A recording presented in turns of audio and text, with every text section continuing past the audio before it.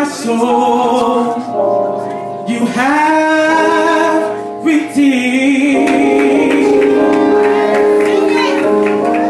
No one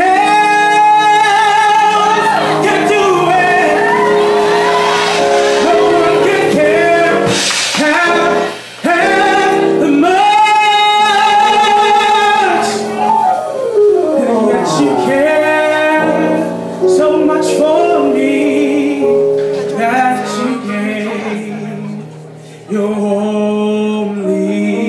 son.